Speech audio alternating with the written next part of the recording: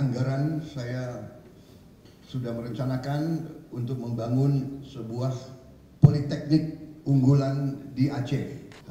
Tadinya saya ingin groundbreakingnya sekarang-sekarang ini, tapi memang masih memerlukan proses. Si pemimpin, kita merasa kalau datang tanpa membawa suatu ucapan nyata sebagai balas budi, rasanya malu. Jadi saya minta maaf.